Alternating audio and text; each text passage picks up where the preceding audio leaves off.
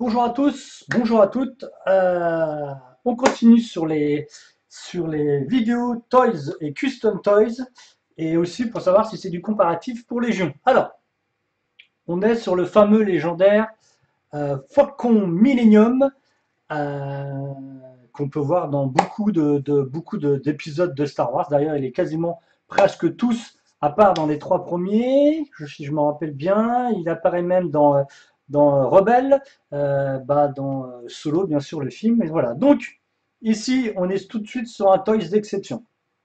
Alors, comme vous pouvez le voir en dessous, il fait 60 cm de long. Donc, déjà, les dimensions, on va vous mettre un petit péon dessus. Voilà, pour vous montrer la comparaison, est assez gigantesque. Donc, ici, euh, vous êtes vraiment sur un vrai Toys d'exception. Il y en a très, très, très peu sur le marché. moi, j'ai eu la chance d'en récupérer alors, à chaque fois que je dis nombre que je récupère, les gens sont un peu tiquetés en commentaire. Je ai récupéré plus d'une dizaine à l'époque, euh, étant fan surtout de l'échelle, parce que vous pouvez y aller les yeux fermés. Euh, l'échelle est complètement compatible. On est sur du 49.6, donc du 1 50e. Euh, donc vous pouvez le prendre complètement, il est d'enfer et tout. Donc là, j'ai moi plusieurs versions. plusieurs versions, en fait, j'ai plusieurs exemplaires. Bon voilà, je vous montre de moi la taille. Ah, je suis planqué derrière. Donc, euh, ce qui est bien, c'est que vous avez déjà tout. Euh, vous avez les pieds qui sont mis, vous avez déjà la visserie. Donc ça, je vais vous expliquer après ce qu'on peut en faire. Euh, donc là, tout est bien, le cockpit, tout ça, tout ça et vous pouvez directement l'acheter sans vraiment, comment s'appelle, sans vraiment le customiser en lui-même. Mais il y a même, il y a une page de fans de ce véhicule. Oui, oui, il y a une page de fans de juste véhicule de cette version de euh, Series euh, de Disney encore, je crois que c'est marqué en dessous, il est juste en dessous, je ne me rappelle plus quelle période c'est sorti d'ailleurs, est-ce que c'est marqué? Je vais vous dire ça tout de suite. Euh, je crois qu'il n'y a même pas, si, il y a toujours les petites indications et ça doit être, il n'y a même pas la date, il y a le numéro de série, donc comme tous les toys, hein, il y a un numéro de série. Et donc, non. Non, il n'y a pas marqué, mais bon, c'est à la sortie de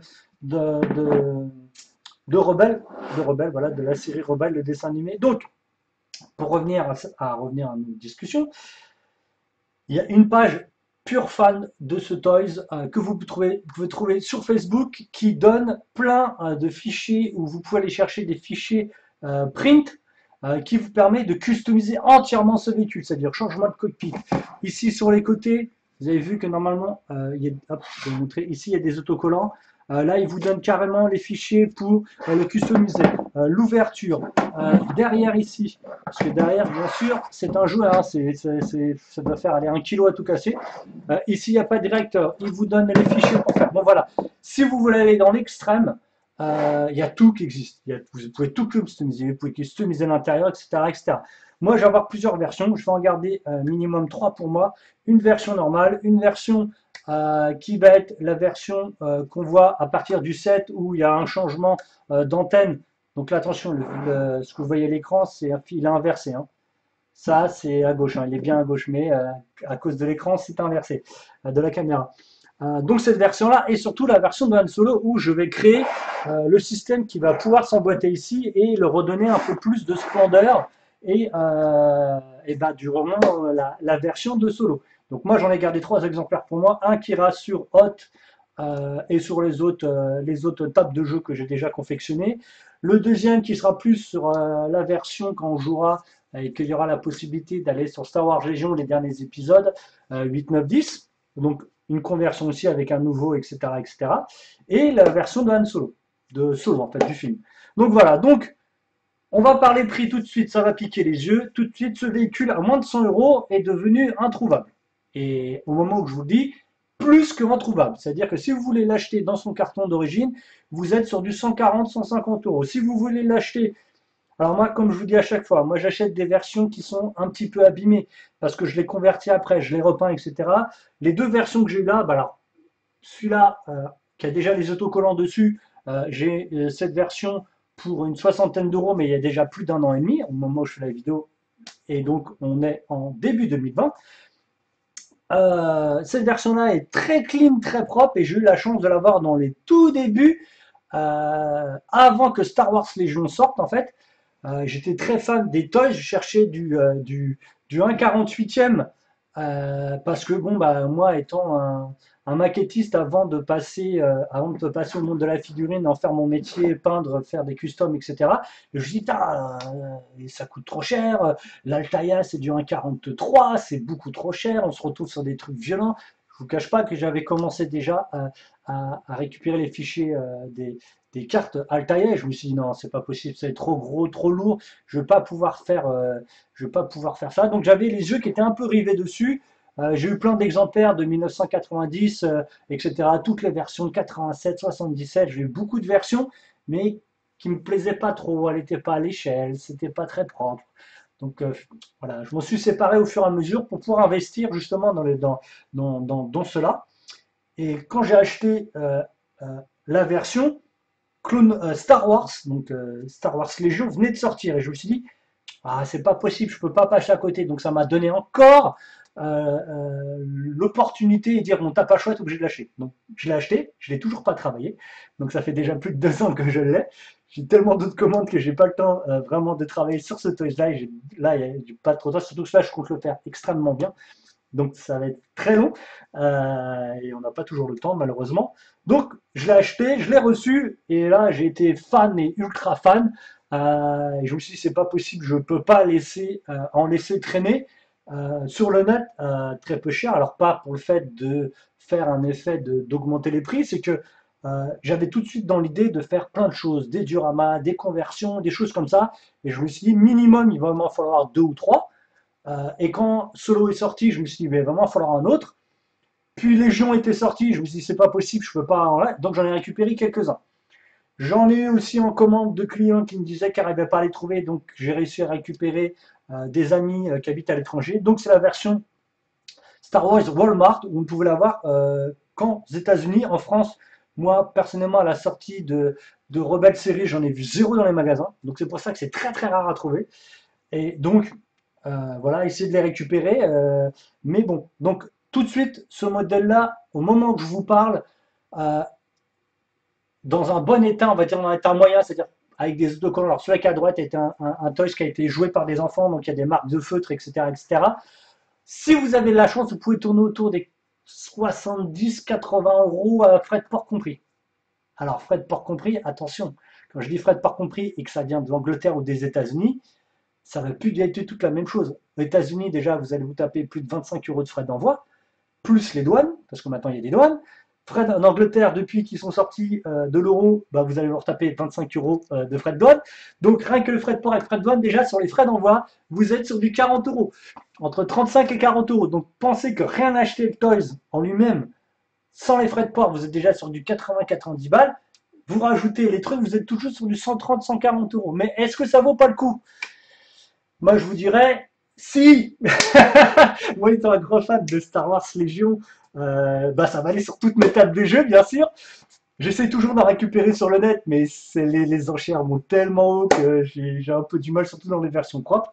Il n'y a pas grand-chose de démontable sur ce, et qui est cassable. Donc, on a ici euh, les missiles, mais je crois qu'il n'y en a pas dans la version en dessous. Voilà, la version en dessous, il est directement, hop, il est directement imprimé dedans. Donc voilà. Pareil, il y a des fous, je vous dis, sur la page où je vais, euh, ou que bien sûr j'ai été invité parce que comme ils voient ce que je fais avec les toys, ils veulent vraiment voir ce que je fais. Tout ça, ça a été changé. Ils ont mis, euh, des trains d'atterrissage. Ici, il y a la trappe de sortie. Ils ont mis une trappe électrique. Donc, voilà quoi. C'est, on peut jamais s'arrêter avec le faucon. Euh, voilà. Et donc voilà, il n'y a que ces deux, il y a que ces deux produits là que qui peuvent être vraiment abîmés. Alors par contre, à, refaire ça, c'est toujours un petit, un, petit, un petit peu compliqué. De toute façon, même, euh, même d'ailleurs, le, radar en lui-même sont assez compliqués à travailler, assez compliqués à recréer. Euh, moi, j'ai pu en refaire sur d'autres toys au, au, au, 1 50e ou même au 1 112e, mais bon, c'est, ça c'est des autres, pour des dioramas aussi. Mais bon, voilà. Revenons euh, à ce qui nous intéresse. Donc oui, oui, oui même, même 100 euros, même moi je vous dis, hein, même 100 euros, euh, de port compris, attention, je vous dis de port compris, c'est une très bonne affaire. C'est une très bonne affaire parce que de toute façon, elle ne pourra que devenir de plus en plus cher si vous voulez être un effet collectionniste. Si vous voulez jouer à Légion, c'est pile l'échelle. Vous prenez pas la tête, vous le prenez, vous le posez, vous le peignez ou pas. comme je vous explique, vous n'êtes pas obligé de les convertir, vous n'êtes pas obligé de les peindre. Si vous comptez les garder et peut-être faire une plus-value dans les années qui suivent. Bon, moi, je suis pas trop fan de ça, mais, mais euh, c'est possible.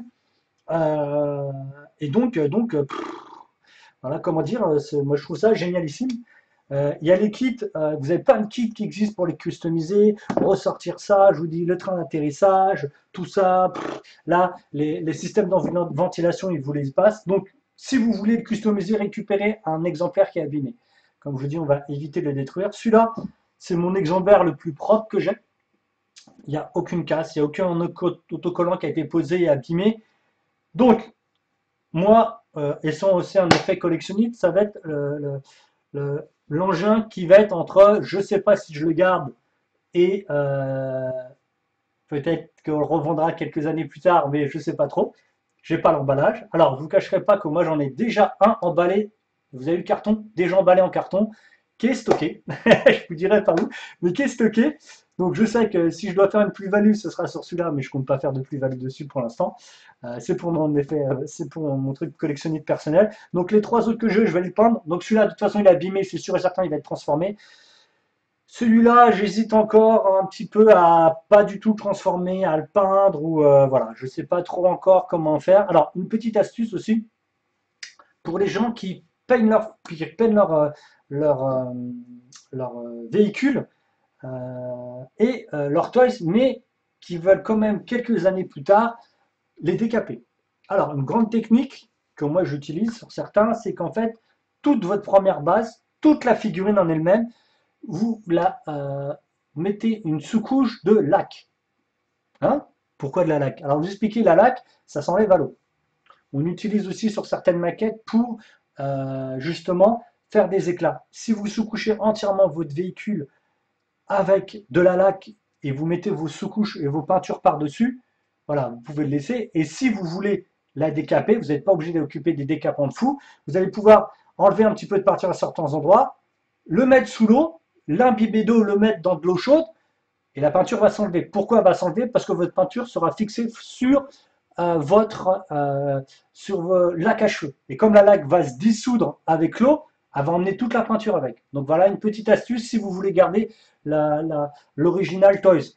Euh, le, truc Toys sur les trucs. Donc ça, vous pouvez le faire sur plein de véhicules, des choses comme ça. Donc voilà, ça c'est un dérivé que moi j'avais mis en place depuis quelques temps. J'en ai pas vu sur le net beaucoup en discuter.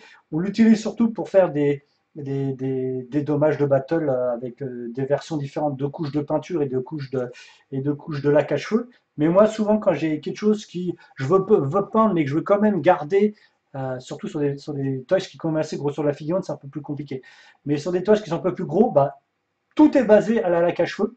Alors, la lac à cheveux, la cheveux, je peux vite vous donner l'astuce. Euh, vous utilisez la laque, vous la mettez dans un godet, vous, vous, euh, comment s'appelle, vous videz la laque à cheveux dedans, il va vous rester le liquide, vous le mettez dans votre aéro, dilué ou pas, comme vous voulez, moi je la dilue pas, et vous recouvrez, mais alors toutes les surfaces le plus possible de votre véhicule. Ce qui est bien, c'est que vous allez voir tout de suite la laque à cheveux qu'elle est posée, parce que ça va briller aux endroits où elle est posée. Donc, vous pouvez protéger vos toys comme ça, pour après, les, par exemple, les redécaper. Euh, les nettoyer et les repeindre. Si vous voulez le repeindre, vous considérez que c'est pas joli tout. Mais c'est toujours une protection. Ça vous permet de protéger en plus votre toys. Donc voilà. Donc par contre, si vous faites ça, ne vernissez pas euh, votre, euh, votre toys à la fin. Parce qu'il faudra décaper le vernis avant de commencer à nettoyer le toys. Donc vous allez vous retrouver avec des choses qui vont être, commencer à être compliquées. Finalement, vous allez plus abîmer votre toys que l'action que vous voulez faire d'origine, c'est-à-dire le laisser finir. Donc je vous dis, pour résumer, on a bien discuté sur cette vidéo, si vous le trouvez, vous l'achetez. 100 euros, même moi, 100 euros, euh, frais de port compris, ça vaut le coup. Dans tous les cas, ce toys-là ne fera que augmenter si vous voulez euh, le garder, etc. Donc moi, j'ai gardé, il est emballé. Mais voilà, pour les Légion, c'est parti, vous pouvez y aller. Pour les extrêmes fans euh, qui sont fans de ce que je fais, vous pouvez les, récupérer avec des figurines à 48e. De toute façon, maintenant, il y a des imprimantes 3D pour pouvoir sortir les figurines aux dimensions que vous voulez. Si vous voulez des renseignements, n'hésitez pas à me contacter euh, via sur mon Facebook euh, euh Stéphane ou sur le Studio 9 Art ou Creative 9 Art. Là, sur la droite, vous allez avoir tous les petits trucs, même Miniature Rubik et donc ma plateforme de Patreon qui permet de montrer tout ce que je peux faire. et donc, n'hésitez pas à récupérer si possible. Et si vous voulez le convertir en Extreme Toys, il y a même une page Facebook où on vous donne énormément de conseils. Bon, il y a des bons et des mauvais conseils, il y a des bons et des mauvais maquettistes, mais bon, comme dit, c'est comme les bons chasseurs et les mauvais chasseurs. et donc, voilà, donc n'hésitez pas, achetez-le, euh, c'est un très bel investissement, c'est une pièce ultra maîtresse, que ce soit pour la vitrine, du diorama ou euh, du décor Star Wars Legion ou autre chose, si, cette vidéo est, dure dans le temps et qu'il y a des autres jeux de figurines en, en, 1 cinquantième. Euh, d'ailleurs, euh, un cinquantième, euh, vous pouvez même faire, si vous avez des anciennes figurines euh, qui sont de Wizard of the Coast, qui étaient donc Star Wars Minis, bah, vous pouvez les jouer avec, ça va tout à fait. Donc je vous dis merci pour cette vidéo, likez, commentez, partagez, la petite cloche pour les nouvelles vidéos.